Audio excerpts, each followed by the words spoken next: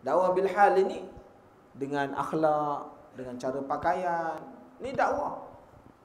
Itu sebabnya orang Islam ni tuan-tuan muslimin dan muslimat yang dirahmati Allah. Nak ajak orang pergi dakwah rumah ke rumah kita tak mampu.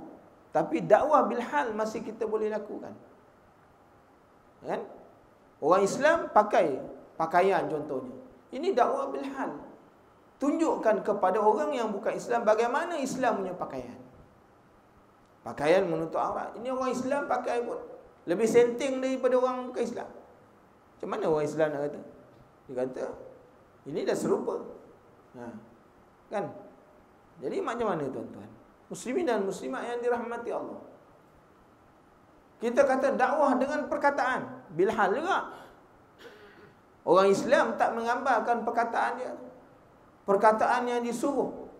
Mana ucapan yang baik-baik.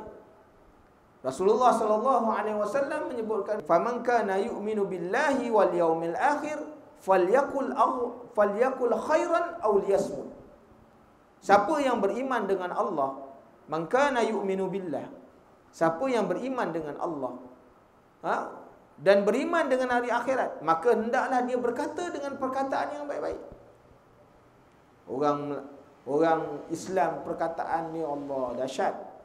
Nah, tak menggambarkan tu Islam dengan perkataan-perkataan kejinya. Allah kan? Ha, jadi perkataan-perkataan lucahnya Allah susah. Jadi orang-orang lain orang bukan Islam tu tak tertarik dengan dengan dengan cara Islam. Dengan cara yang dibawa oleh orang Islam. Ini dakwah bil hal. Kan? Kita kena tengok kena tunjukkan dakwah bil hal ha. Banyak lagi dakwah bil hal tengok potongan rambut orang kafir nak tengok nak tiru orang Islam cara potongan rambut pun tak boleh dia kata ini serupa macam aku juga kan dia kata orang-orang kafir ni rambut trojan kita lebih trojan daripada dia jadi mana dakwah bilham yang dibuat tak. Tak kena. Ha. Bayangkan Salahuddin Al-Ayyubi tak?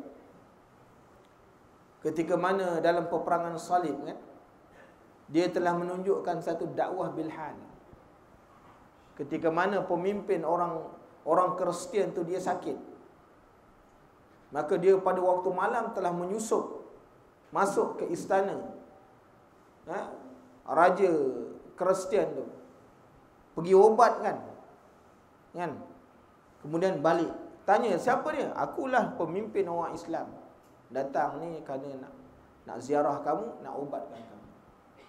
Ini dakwah bilhal tuan-tuan. Sehingga mereka melihat wah Islam ni Allah cukup hebat